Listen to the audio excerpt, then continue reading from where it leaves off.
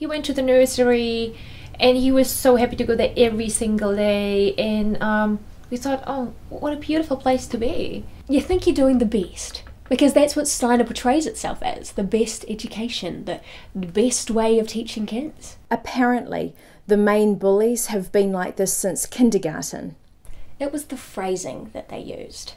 Boys will be boys, it's just the way they are. A child was kicked off the monkey bars.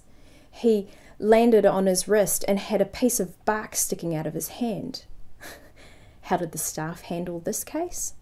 Well, the naughty bully was put into timeout in the library. That's it. Nothing. Nothing else.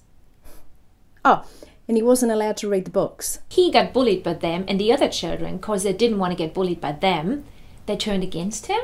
So my son ended up being bullied by a lot of children.